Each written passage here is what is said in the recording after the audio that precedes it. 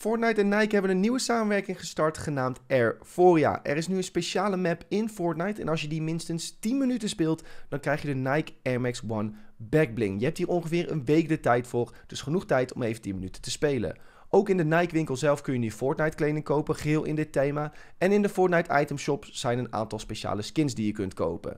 Je krijgt de Nike Air Max One Backbling op 28 juni, dus er is genoeg tijd om nog even te spelen.